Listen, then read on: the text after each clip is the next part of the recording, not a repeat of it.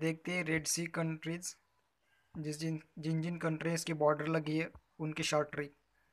तो इसकी short trick है डेजी या फिर कह सकते हो डीजी